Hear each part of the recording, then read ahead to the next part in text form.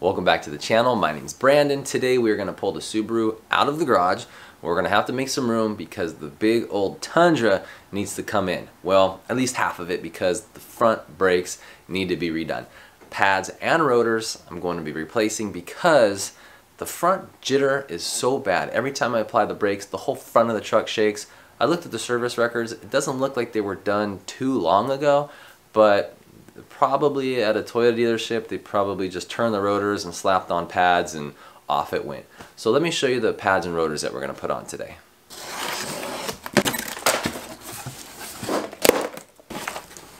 These are heavy. These are StopTech Sport Slotted Rotor Non-Cryo Treated. So they're not the cryogenic expensive hardened rotors. Um, they are slotted left and right.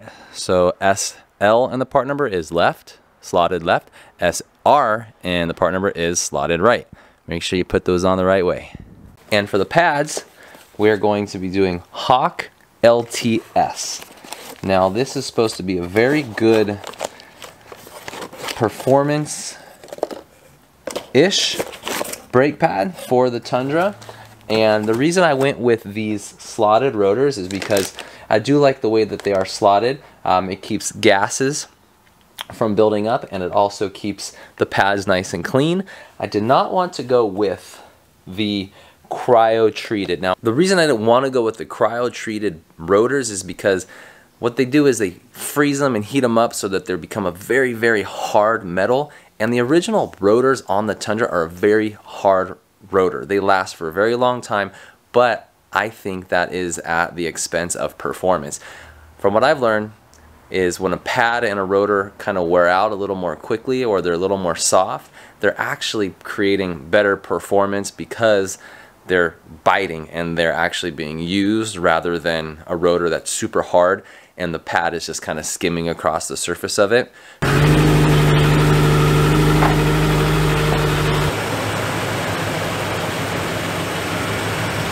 That's a tight fit. I think we are to put the little Craftsman 2-ton jack through its paces today, but we're just to do one corner at a time. Got to take that wheel off first, but I got to get this corner up in the air. Safety first.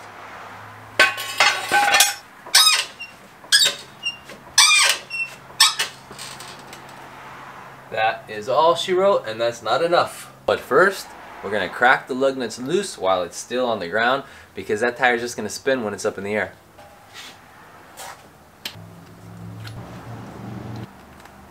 So I have some super thick stout wood. I'm going to put it into the frame and see if I can get the clearance that way for the jack to lift the tire off the ground.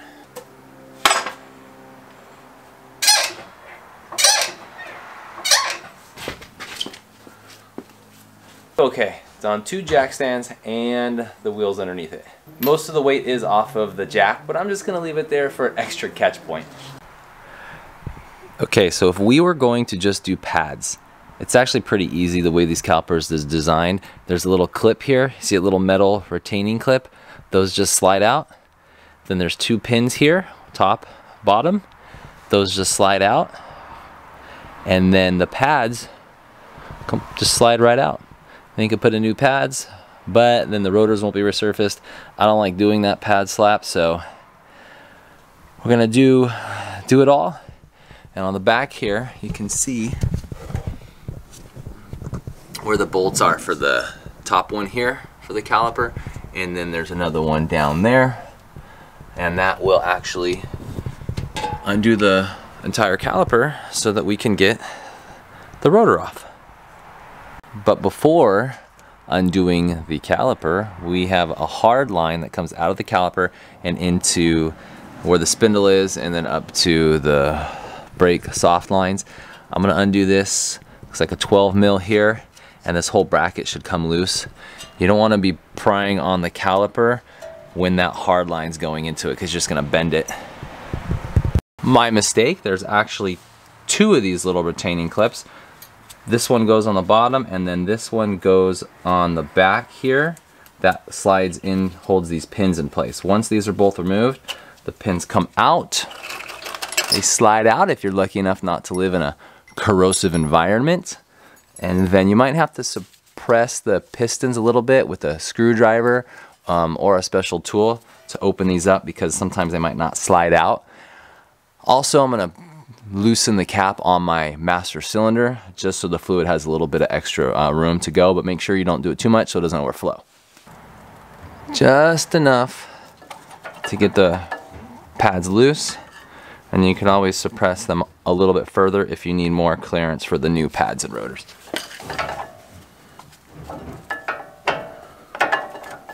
Just like that.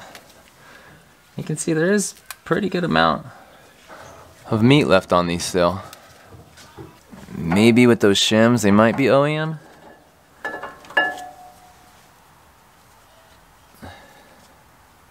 It's real unfortunate that I can't find my impact gun, so I'm gonna have to break these two big boys back here myself. 17 mil, breaker bar, watch these lines back here, give it a tug. Not too tight, it's nice. Someone may have actually taken care when putting these on the first place. Bottom one, same thing, up, tug. Bad at all. Now, these aren't the smallest calipers in the world. Um, they might be a little heavy, so I like to have a bungee cord already wrapped up, ready to go to grab it when it comes off. And I got my wife's favorite turkey basting pan down below to catch all the dirt and crust and grime coming out of it. Be careful, there is, it's like a speed sensor over here on this side. It's like a 10 mil to separate the speed sensor line, ABS sensor line from the actual brake line. 10 mil up here to undo those two. Now they're free to kind of move about separately. Okay, those two. Oh, might want to rotate it up. Don't scratch the paint on your upper control arms. This is way harder than it has to be. I must be working on it. Time to remove the rotor. Hmm.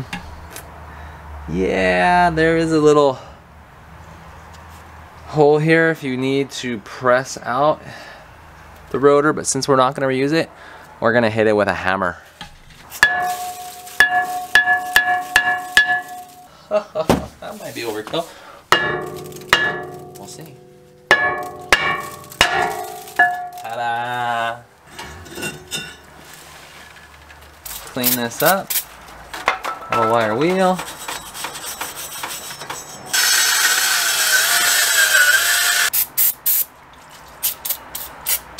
Little brake clean to get the uh, shipping oils off of the face. These don't seem to be too bad, but sometimes you'll get a rotor that's just covered in oil inside the packaging and you'll want to clean both of those sides of the rotors off before you put those brand new pads on.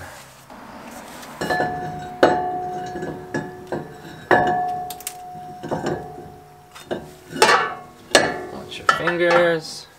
Put a lug nut in place to kind of hold it on there so it's not flopping around when you're trying to mount the caliper. See that? Nice and sturdy. Hmm. Don't force anything.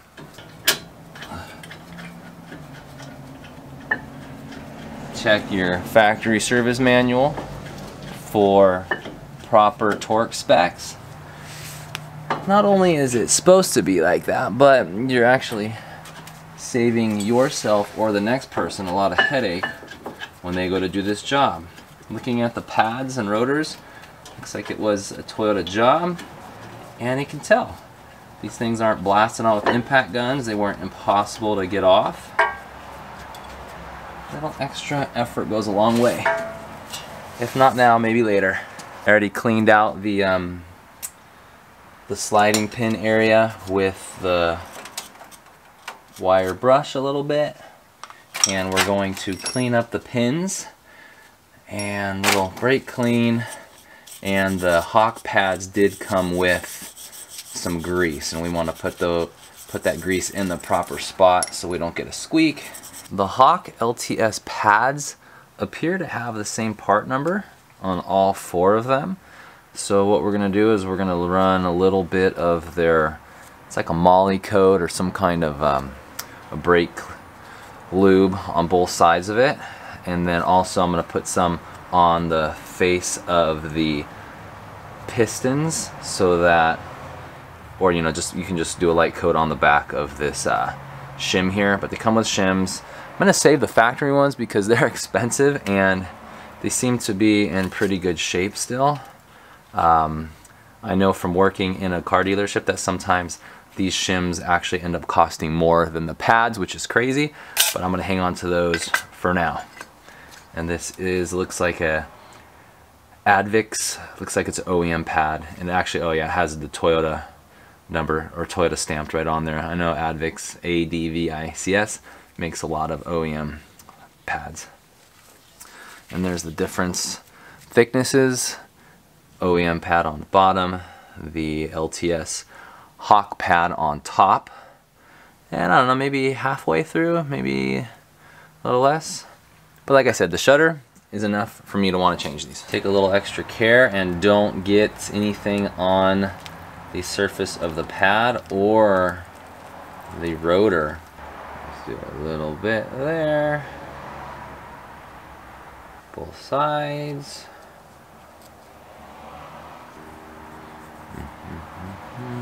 And I'm also going to put a little bit of this on the slide pin.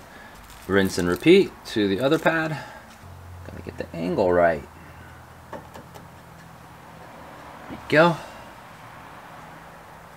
Both slide pins lubed up. You go in. It's actually pretty easy. A little too far.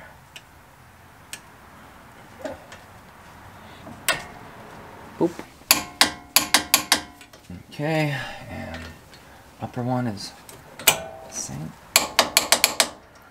And I've never done this job, but maybe an hour or so in the garage. Save yourself a couple hundred dollars. The first one is always longer because you're learning as you go. The second one will go about twice as fast. Go and clip this back in. Okay, torque the top, torque the bottom. All these are nice and secure. Just like we started. Look at that. We have to put the bottom clip in before we can do the outer one. Let's see. And then this goes through all of it to keep it in place. And we don't remember, don't forget to put this one back as well. Ta-da! That one's there. No rattling. Good. Forgot to mention you could also do a little a little bead of uh, anti-seize or some high copper brake um, lube it around where the rotor hits the actual spindle just so it's a little easier to take off next time. Whew. Oh.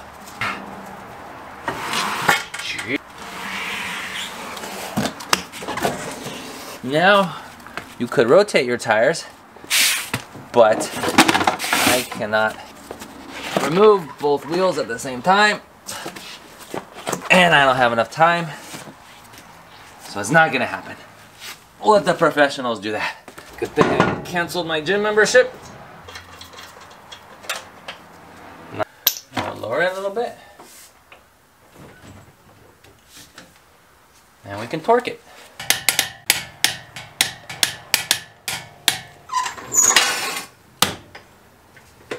Good as new, if not better. Look at that.